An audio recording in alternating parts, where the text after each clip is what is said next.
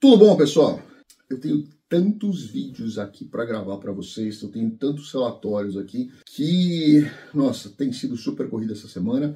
Fez um frio absurdo aqui em Houston, então hoje foi o primeiro dia, quarta-feira, que eu consegui efetivamente vir aqui para o estúdio porque estava muito frio. Não levou, mas a gente teve aquela camadinha de gelo que acaba formando no, nas ruas, principalmente nas rodovias, e isso gera um monte de de acidente e aí acaba tendo um monte de trânsito. Então, ou eu vinha para o escritório ou eu trabalhava de casa, então estava super difícil, não consegui vir para o estúdio. Por isso que eu não gravei antes, eu vou tentar colocar agora nos próximos dias todos os vídeos é, em dia aqui, tá? Mas eu, eu fiz muita coisa aqui, tem muito conteúdo para a gente gravar. Vamos lá. Primeiro de todos aqui que eu quero gravar é, uma, é um e-mail que eu recebi de uma, de uma inscrita chamada Maria Paula. Não vou falar o sobrenome dela aqui, porque não veio ao caso. Ela compartilhou uma história aqui com a gente que eu acho que, que pode ser muito legal para a gente dividir aqui com vocês também. E eu acho que acaba somando bastante também aí na. Acho que no planejamento das pessoas, né? Acaba sendo bacana. Então vamos lá.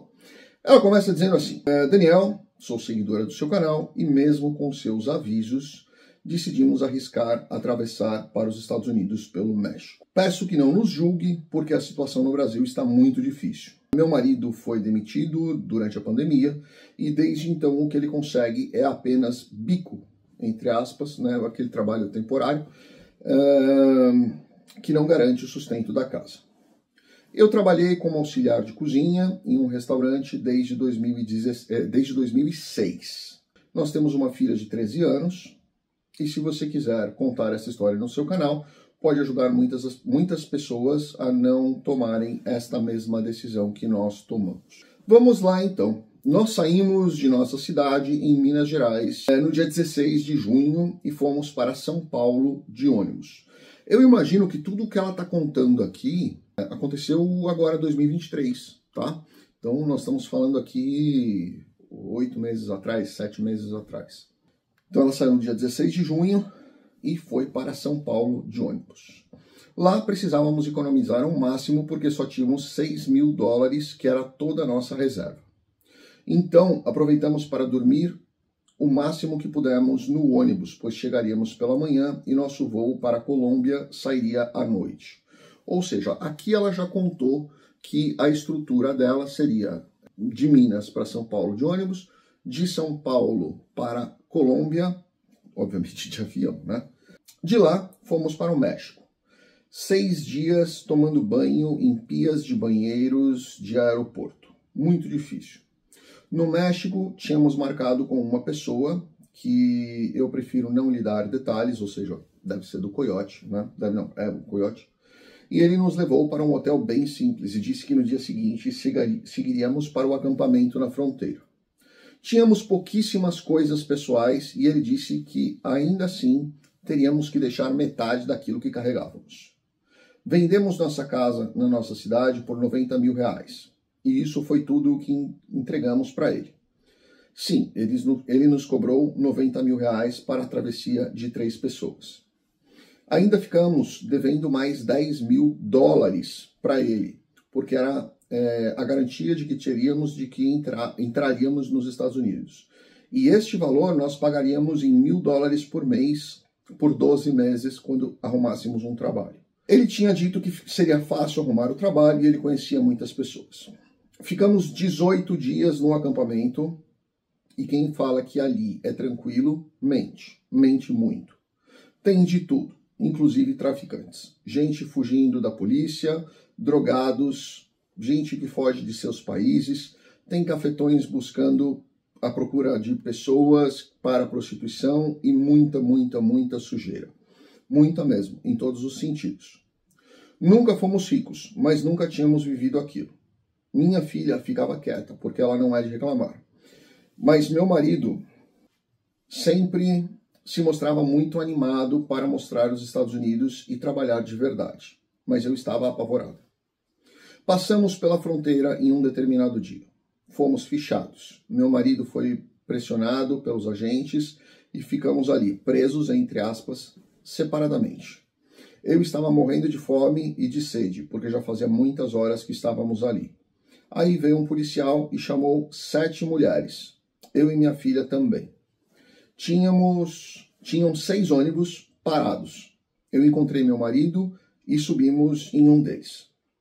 Nos deram uma garrafa de água, um sanduíche e um pacote pequeno de bolachas. Aquilo parecia um paraíso para nós. Estávamos todos morrendo de fome. Entraram três agentes neste ônibus, todos armados, e disseram que iríamos para outro estado. O cheiro era terrível, porque as pessoas ali, entre parênteses ela colocou todos em caixa alta, não tomavam banho há dias. Então estavam todos suados e muitas vezes sujos. Não tínhamos como usar celular para avisar a família e tudo era muito estressante e humilhante, principalmente para nossa filha. Chegamos em Nova York dois dias depois. Eu já não tinha mais nem noção de horário. Fomos mandados para um abrigo e vimos coisas ali dentro que jamais imaginei. Nunca fomos desrespeitados pelos agentes. Eles são muito, muito duros, sim, mas mantêm sempre o respeito. Mas os outros imigrantes, como eu disse, têm de tudo. Eu estava apavorada, dormia sempre com o olho aberto. Meu marido quase não dormia. Parecíamos uns, parecíamos uns zumbis.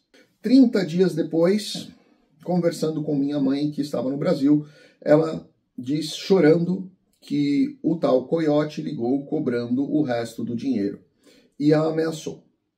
Nem casa conseguimos ainda. O frio está enorme aqui e temos que mandar mil dólares por mês para ele até dezembro deste ano. Eu jamais faria isso de novo e não desejo para ninguém. Às vezes eu peço a Deus para ser presa e deportada, para que assim eu tenha a obrigação de denunciar todo o esquema e volto forçadamente para o Brasil porque nem dinheiro para passagem nós conseguimos juntar. Sim, Daniel, é muito triste essa história e é a realidade da maioria das pessoas que aqui estão. Vejo muitos vídeos de youtubers que acabam motivando as pessoas a virem para cá como se tudo fosse muito fácil, mas na verdade é uma grande ilusão que eles vendem. Então, deixo o meu conselho aqui e, se você puder, leia a minha história para as pessoas para que elas possam se precaver e não cometer os mesmos erros. Quem sabe um dia eu volto para o Brasil com o dinheiro que juntarmos aqui. Essa história é difícil a gente ver na internet, né? A gente sempre vê histórias bonitas, de muito sucesso, com pessoas que chegam aqui e compram carros no primeiro dia, com o primeiro salário, né? Eu não tive a sorte dessas pessoas aí. Eu não, no meu primeiro dia, na verdade, nos meus primeiros anos, não foram dessa forma. Né? Então eu não conheço esse mundo tão rico e cheio de glamour que muitas vezes a gente vê em alguns vídeos. E parece que a Maria Paula também não conheceu.